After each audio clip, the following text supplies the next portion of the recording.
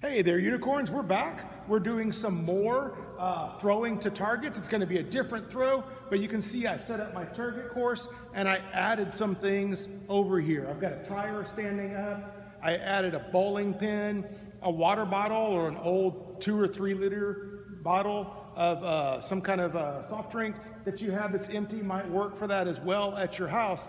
But I want you to notice that everything it, there's nothing laying flat on the ground. Last time we had a hula hoop flat on the ground. That's going to go away for the throw we're doing. You need things that are up off of the ground. Uh, stuff that can fall over is going to be fun today. Stuff that is, you can still have some things that are low, but we're kind of aiming more mid to high with the throw we're going to be doing today. So a lot of the things from your setup from last time will work for you today. This was underhand throwing. I'm holding the object in my favorite hand. I'm going to bring my arm back. At the same time, I step with my opposite foot to underhand throw the object. My hand is under my shoulder, and that's why we call that underhand. All right, so today's throw that we're doing is going to be overhand because my hand is going to be over my shoulder not underneath, so we call it overhand throwing. Now, when you overhand throw, you don't face your target. Your body's gonna turn sideways with your throwing arm going back. So when you look at me, the camera is not gonna be the target for this one. I want you to see what I look like from the side. So my target is going to be over there. You see my target set up? You will not see the target while I'm demonstrating because we're not worried about the target. We're, we're focusing on making our body move the right way and we'll work on hitting the targets later. All right, so my target is over there. I'm pointing to my target, so we stand sideways to our target. First thing I'm gonna do is I am gonna pick up my throwing object, and then I am going to have my throwing arm behind me as I turn sideways. So your favorite hand, your dominant hand is going to be behind you. You're going to stand sideways and look over your shoulder and point to your target.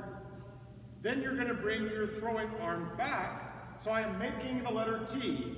I am pointing with my non-dominant hand. I am holding the object with my dominant one. And then I'm going to start bringing my object over past my ear. At the same time I'm doing that, I am going to take a step, twist my body, reach my arm straight, and follow through with my other foot to throw towards the object. It's important, I know it's kind of hard to hear me on these videos, but it's important that you see what's going on at the same time. Again in slow motion, step, twist, throw, and then step with my favorite foot after. There are two steps in the overhand throw. It's not just one. Just like when we did underhand, you step with your opposite foot first. As you twist, you step around with your other foot. Now I'm going to do an actual throw. Letter T, pointing, holding, step, twist, throw. As you're noticing, there's a lot more speed and a lot more power. This is how we're going to get distance. It's how we're going to get speed, is with our overhand throw. Point, hold, letter T, step, twist, throw. One more, sideways, point, hold, letter T, Step, twist, throw as you follow around. For my older kids, that pointing thing and the thing we hold, that may not be really for third, fourth, and fifth. I want you to go back to that video I shared on the mature throwing pattern, the slow motion. Um, look up baseball players. Look at what a pitcher is doing in baseball.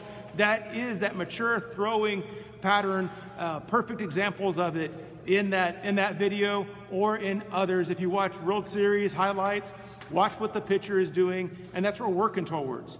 Um, your targets today, because you've got more power, because you've got more speed, you're going to be um, coming a lot further back from your target. Even our little kids, you can start working on moving back as you find that you're hitting those targets or you're throwing over them. Scoot yourself back, work on getting more power on the object you're throwing. Our younger kids are probably using sock balls and things like that that are like bean bags. For older kids, there's a lot of things that you can add in. You might choose to start using something like a football if you've got this down. You could choose, like we talked about, a baseball, like a baseball pitcher does. It's up to you, as long as you're working on the pattern. Remember, don't let the things we talked about with your body, that step, twist, follow through with the second step, don't let those things break down. Make sure, as you're trying to hit targets, that that is what you're using so that we build on the skill and we can get increasing amounts of distance and accuracy. I hope you all enjoy working on this uh, today. Have a great day, and I will see you around.